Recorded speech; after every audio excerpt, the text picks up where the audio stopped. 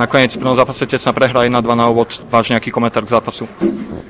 Ťažko sa mi to hodnotí, pretože naozaj dnes sme odohrali veľmi dobré stretnutie. Vyšli sme na prázdno. Myslím si, že sme mali na čom stavať, pretože dnes brankár Samohlavaj nás podržal.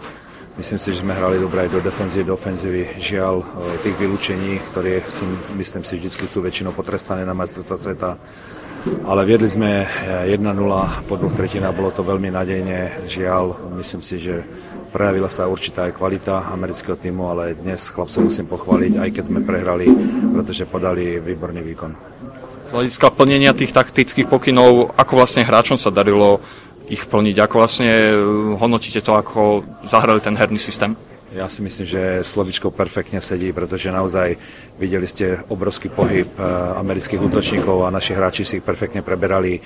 A tie góly vyplynuli eh, z toho faulu, vyplynulo tam, z rohu vychádzal, dostali sme vekenom gól, či už poviem nešťastný, ťažko sa mi to hodnotí, ale naozaj hráči to, čo mali, všetko splnili. Žiaľ, chýbalo nám trošku, možno dnes sa to povie, eh, trošku šťastia, aby sme aj my ten gól dali nejaký.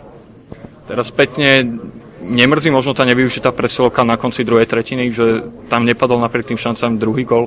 Tak mrzí nás všetko. Mrzí nás nevyužitie presilovky, mrzí nás trestné strany, ktoré sme nevyužili, mrzí nás spustu šancí. Tam eh, aj Adam Ružička netrafil prázdnu bránu. Hej, to znamená, bolo tam eh, veľa šancí, kde sme si naozaj mohli ten gól dať, ale žiaľ, nepadlo nám to tam. Samuel Hlavaj stal len 17-ročný brankár, vlastne jeho prvý štart na majstrovstve sveta do 20 rokov prekvapil vás tým, za akým pokojom chytal?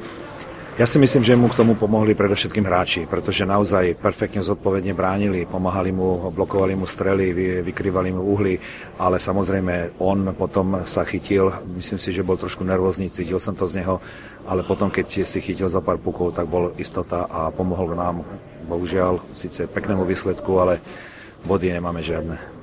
K tomu trestnému strieľaniu rozhodli ste sa tam dať Andrea Kukuču. Chceli ste praváka dať na trestné strieľanie, alebo aký bol zámer? Áno, možno bude veľa ľudí prekvapené, prečo išiel Andrej Kukuča, ale je to naozaj zakončovateľ, je to pravák, myslím si, že to dobre predviedol aj proti v zápase proti Čechom.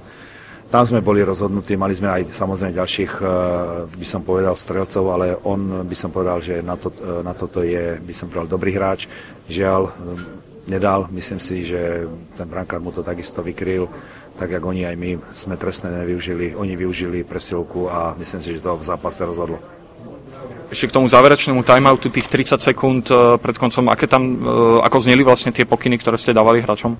Tak ja som si zobral aj tam, pretože tam bolo len 25 sekúnd, lenže škoda, že sme nemali boli v útočnom pásme, ale mali sme vo vranom. Tam bol signál, aby dvaja hráči vyštartovali hneď na riziko k mantinelom. Pokiaľ by sme vyhrali, boli rýchle eh, pretečovanie a pokúsiť sa o malý zázrak. Zajtra v Švedsku, akou spruhou je vlastne takýto výkon aj napriek prehre? Ja som teraz chlapcom povedal v kabine, že samozrejme, že sme všetci sklamaní, tak jak realizační, tak aj hráči, pretože za takýto výkon sme si zaslúžili minimálne bod, ale už to nevrátime, už je to za nami, toto je turnajový spôsob a preto už teraz sa musíme chystať na Švedov a to začína práve tou regeneráciou. Tí Švedi hrajú dokonca ešte po vás, čiže môže to byť aj nejaká mierna výhoda, že budete mať tie 4 hodiny k dobru?